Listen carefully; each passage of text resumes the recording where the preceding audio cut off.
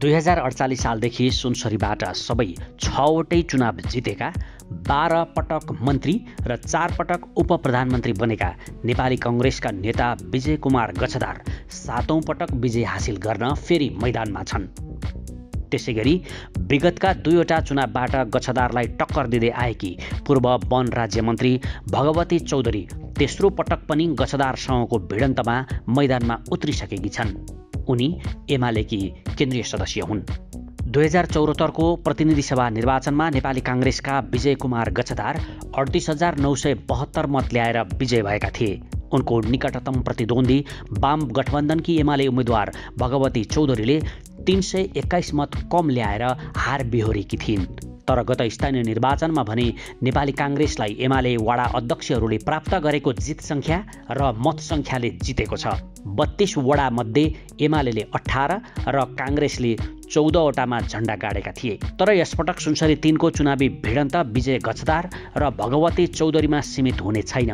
कुनै बेला मधेसी जनअधिकार फोरमको सहअध्यक्ष भएर मधेस थर्काएका किशोर कुमार विश्वासले पनि सुनसरी तिनको चुनावी मैदानमा इन्ट्री मारेका छन्। बहुल राष्ट्रिय समाजवादी पार्टी दर्ताका लागि सम्पूर्ण प्रक्रिया पुरा गरेर पनि निर्वाचन आयोगले चुनाव लड्ने स्वीकृति नदिँदा अन्तत किशोर विश्वास स्वतन्त्र रूपमा चुनाव लड्न बाध्य भएका छन्। यही कारण यसपटक सुनसरी तिनमा त्रिपक्षीय भिडन्त हुने भएको छ। ठुला दुई पार्टीमा खसेका यति धेरै मत तानेर स्वतन्त्र उम्मेद्वार किशोर विश्वासले कसरी बाजी मार्लान्? तर विश्वास भने असम्भव देख्दैनन्। विजय गजदार ललिता निवास भ्रष्टाचार प्रकरणमा दस लाख धरौटीमा छुटेका नेता हुन्। उनी सांसदमा विजय भए पनि संसद छिर्न पाउँदैनन् भन्ने विषयलाई एमाले उम्मेद्वार भगवती चौधरीले जोडतोडका साथ उठाइरहेकी छन्। दर्जन पटक मन्त्री हुँदा समेत केही काम गर्न नसकेको सदाबहार आरोप त विजयलाई लाग्ने नै भयो। यसपटक गछदार मतदातासँग गएर रोइरहेको पनि एमाले पक्षको आरोप छ। मेरी श्रीमती मरिन यसपटक जिताउनु भएन भने मलाई जेल हाल्छन् आदि भनाइमा गछदार सीमित बनेका छन्। काङ्ग्रेसले पनि भगवती चुनाव नै नजिती वन मन्त्री बनेको तर केही काम गर्न नसकेको आरोप लगाउँछन्। थारू आयोगमा बसेको तर पक्षमा काम गर्न नसकेको उनलाई लाग्ने अर्को आरोप हो। त्यसै गरी फरवार्ड नामक लघुवित्त संस्था सञ्चालन गरेर धेरैलाई ऋणमा डुबाएको पनि उनलाई लाग्ने गम्भीर आरोप हो। उनलाई अर्को पनि आरोप लाग्ने गर्छ अकुत सम्पत्ति आर्जन गरेको। भगवती पनि चुनावी एजेन्डा भन्दा सेम्प्याथीको राजनीतिमा सीमित बनेको विपक्षीहरूको आरोप छ। दुईपटक हारिसके तेस्रो पटक चाहिँ जिताउनु होला भन्दै भगवती पनि रोइरहेको विपक्षीहरू बताउँछन्। दुई विपक्षीका कमी कमजोरी धेरै भएकाले आफू माथि रहेको किशोर विश्वासको विश्लेषण छ। स्वतन्त्र उम्मेद्वार उनले अहिलेसम्म लाभको पद धारण गरेका छैनन्। उनी स्वतन्त्र उम्मेद्वार भएकाले पार्टीले गरेको फटाई आफ्नो टाउकोले बोक्नुपर्ने कुराबाट पनि उनी मुक्त छन्। उनी विचार दिन सक्ने नेता पनि हुन्। यसै चुनावमा उम्मेदवारी दिएपछि उनले थरुहट कोचिला राज्यको नयाँ सिमाना सार्वजनिक गरेका छन्। थारूलाई आठौँ राज्य चाहियो भनेर उनले सार्वजनिक रूपमा माग राखेका छन्।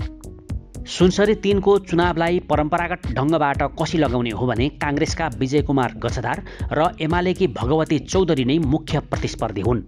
यी दुई उम्मेद्वार साम दाम दण्ड भेदको फर्मुला अख्तियार गर्न पनि माहिर मानिन्छन्। तर यी दुई उम्मेद्वारको विगतलाई जनजनमा पुर्याउन सक्ने हो भने स्वतन्त्र उम्मेद्वार किशोर कुमार विश्वासले नतिजा आफ्नो पक्षमा पार्न सक्छन्।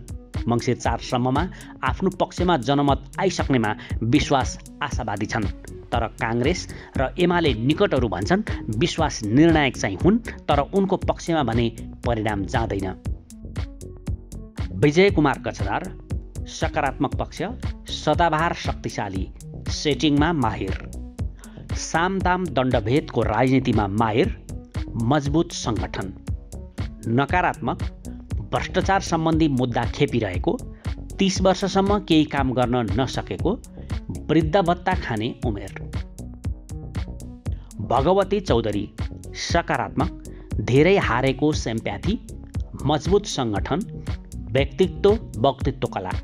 नकारात्मक सरकारी पदमा पुगेर पनि परिणाम दिन नसकेको जनतालाई ऋणमा डुबाएको अकुत सम्पत्ति कमाएको।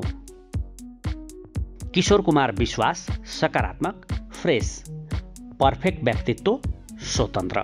नकारात्मक लामो समय गुमनाम सङ्गठन छैन पैसा खर्च गर्ने सामर्थ्य छैन।